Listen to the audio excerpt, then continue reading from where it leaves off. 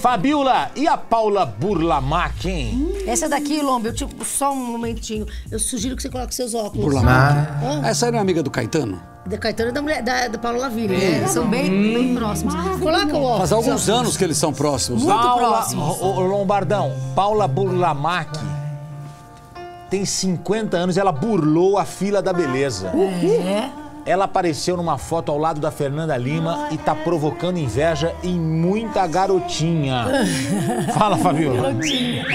Ó, e olha, a Fernanda Lima sumiu perto dela.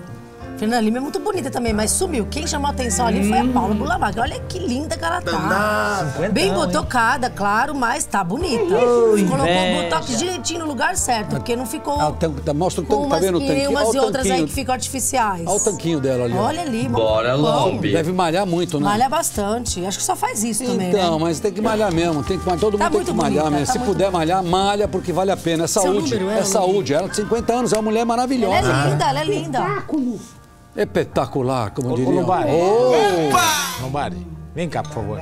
Só vou, vou contar, vou explicar um negócio. Não se fala mais malhar. Fala o quê? Revela a idade. Por quê? Falar malhar revela a idade. Mas agora é eu vou- treinar, agora é treinar. Você acha que eu, eu preciso esconder alguma coisa? Não esconder mais nada. Se a gente fala malhar, quem fala malhar fala discoteca. Não se fala mais nem malhar, não se fala mais discoteca, Boate. boate. Fala o quê? É balada. Você fala discoteca, Lô? Eu gosto de malhar, pronto.